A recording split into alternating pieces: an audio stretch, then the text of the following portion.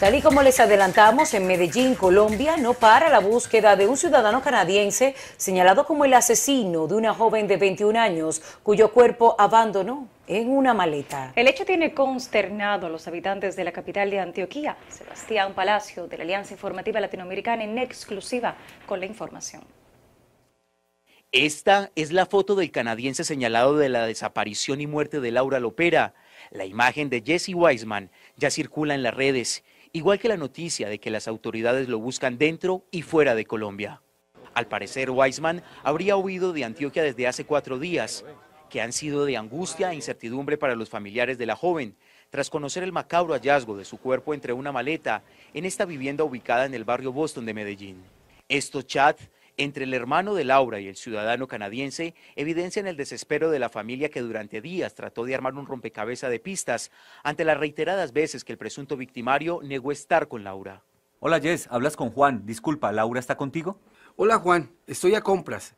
Ella salió hoy mañana, antes que yo. ¿Salió hoy de tu casa? Sí. ¿Y sabes para dónde? ¿Ella tiene celular? No, pensé a casa, pero no sé. No tiene celular aún.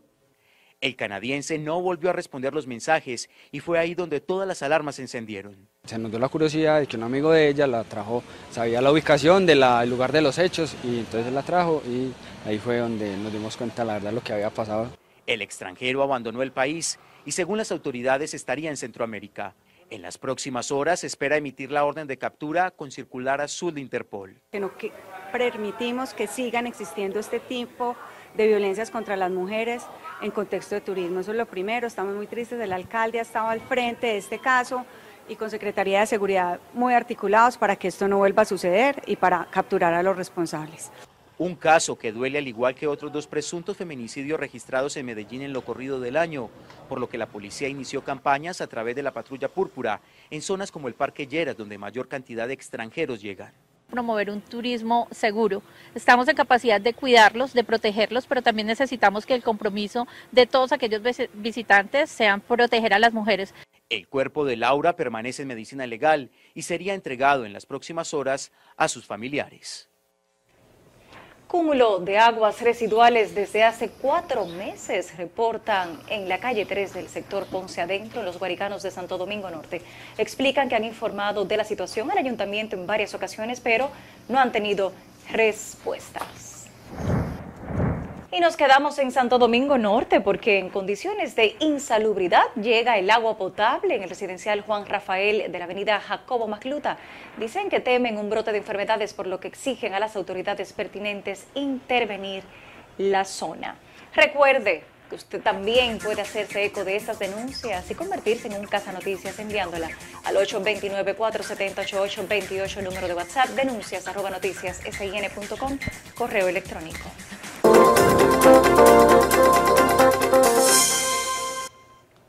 Las autoridades decomisaron siete paquetes y 36 láminas, presumiblemente de cocaína, en un operativo de inspección conjunto realizado en el Aeropuerto Internacional de Punta Cana, en la provincia de la Altagracia, así informó la Dirección Nacional de Control de Drogas. Por el caso fue arrestado un hombre de 37 años, quien al momento de su detención alegó que tenía algunos problemas de movilidad en sus piernas, por lo que se veía en la obligación de utilizar la silla de ruedas para trasladarse durante el viaje.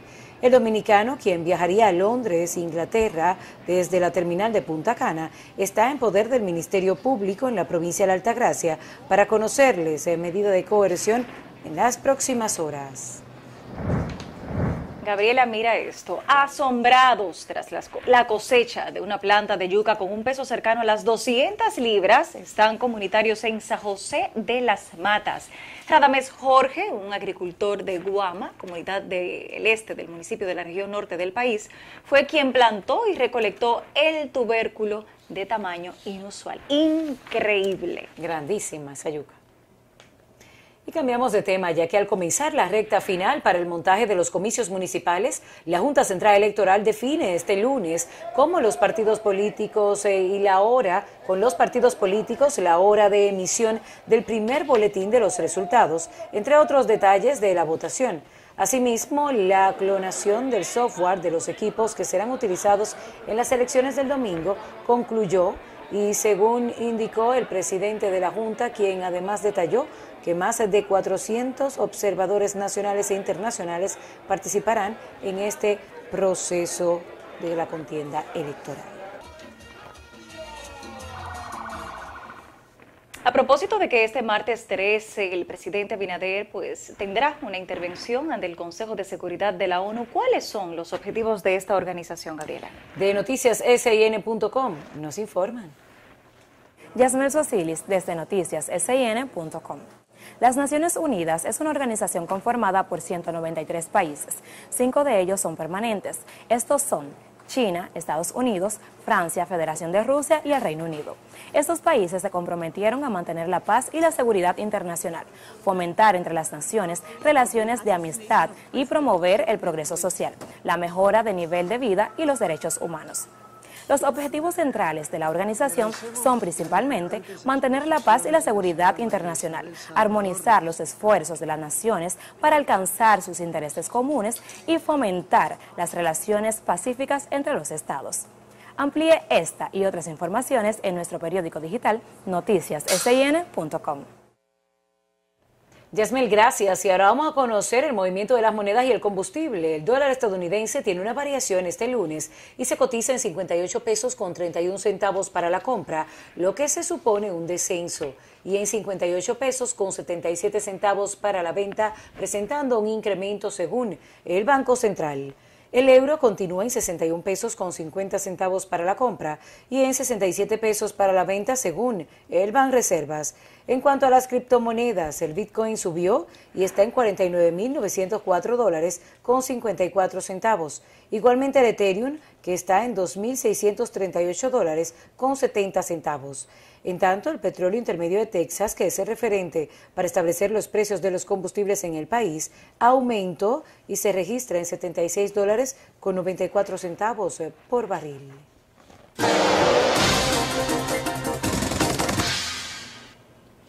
Ante el creciente rol de la juventud en la política dominicana y el potencial de cambio que esto representa, es esencial entender las implicaciones de su participación activa.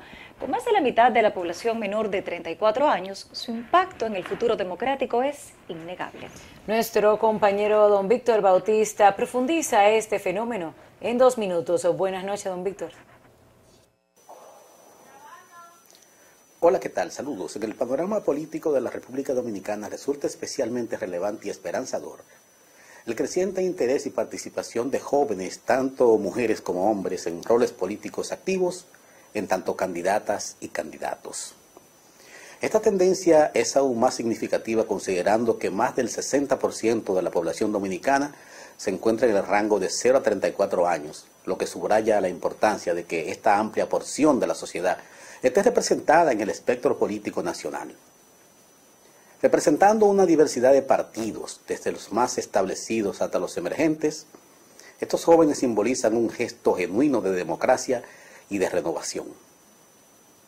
La inclusión de jóvenes en política no solo refleja un cambio necesario, sino que también ofrece una oportunidad única para introducir nuevas ideas y enfoques en el debate político. Es crucial que esta tendencia se expanda permitiendo que más jóvenes se involucren con el objetivo de influir en la creación de una política más inclusiva, transparente y también efectiva. Se espera que estos nuevos actores políticos sean disruptivos, que desafíen las prácticas políticas arraigadas en un pragmatismo deshonesto, de maniobras chicaneras y de corrupción. La transformación también implica una evolución en el lenguaje político hacia formas de comunicación que fomenten la transparencia y una conexión auténtica con los ciudadanos. La participación activa de los jóvenes es indispensable para el progreso hacia sistemas políticos que verdaderamente reflejen y atiendan las necesidades y aspiraciones de una población mayoritariamente joven. Es posible que estemos marcando el comienzo de una nueva era en la política dominicana comprometida con el desarrollo sostenible y el bienestar colectivo. Hasta la próxima.